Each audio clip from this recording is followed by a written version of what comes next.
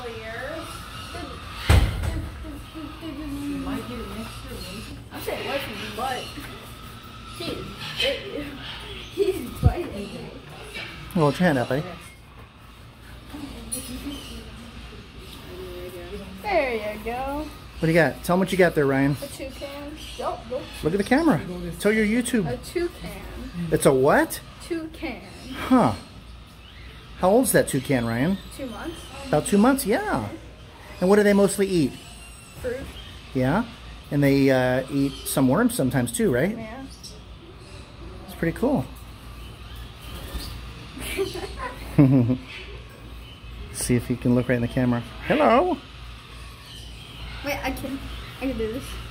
I can record it.